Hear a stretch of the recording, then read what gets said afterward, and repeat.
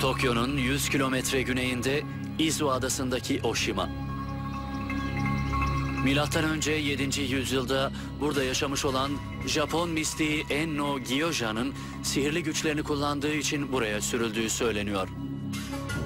Enno Gyoja Vecd öğretisinin kurucusudur.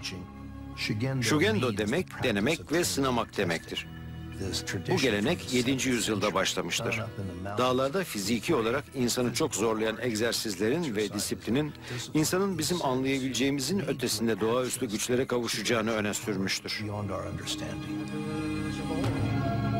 Enno Gyoja'nın büyü anlayışı Avrupa büyü anlayışından birçok bakımdan ayrılır. Bu anlayışa göre kendi içindeki bir şeyleri çıkaracaksın.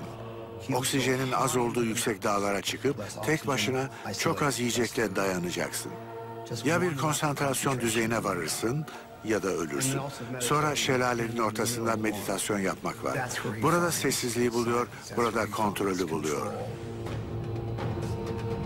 Tarihi kayıtlarda bile Enno Gyoja sihirli özelliklere sahip biri olarak anlatılır.